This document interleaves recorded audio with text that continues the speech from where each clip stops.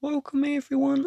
The first step to check screen time in Google Pixel 8 Pro is we're going to start by opening up the settings. And in the settings, I want you to scroll all the way down until you see digital well-being and parental controls. In here, you can see your screen time. You can see how long you've been using each application.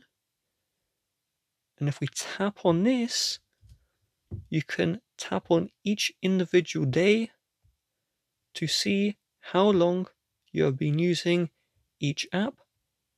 And on browsers, you can show websites which you are visiting, like this, and how long you are visiting each website as well.